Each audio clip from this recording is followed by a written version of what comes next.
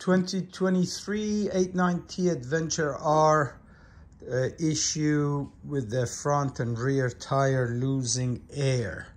It's not a big issue for me, but you know, I can see how pen in the ass it can be. The front was losing around two to three PSI daily. Uh, the rear, not so much. It was losing, but not as much as the front.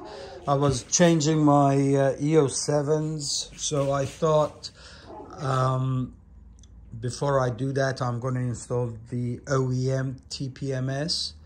Um, so I took the uh, valve body out and I checked the seal.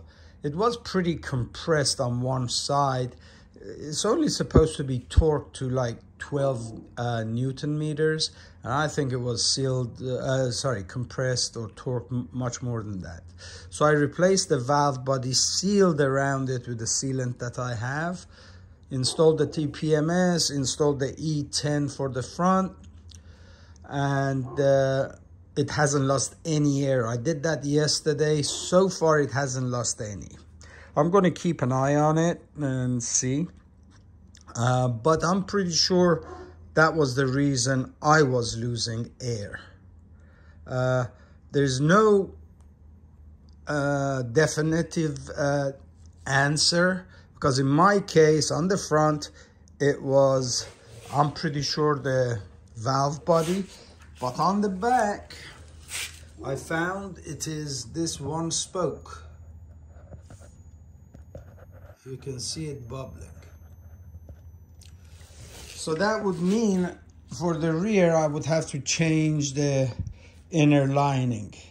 It doesn't lose that much air. It is a slow leak. Um, so I'm gonna try a sealant first, if that takes care of it. If it doesn't, then uh, Next time I go to change the rear tire, I may replace that. Um, I installed the E09s uh, for the back. Um, so I'm going to keep an eye on this one, see how much it loses.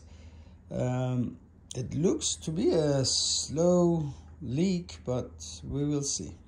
So I'm going to try a sealant first. If that doesn't do the job, then I suppose I have to um, replace the inner lining. I mean, it would be under warranty, but um, I like doing the stuff myself, so we'll see.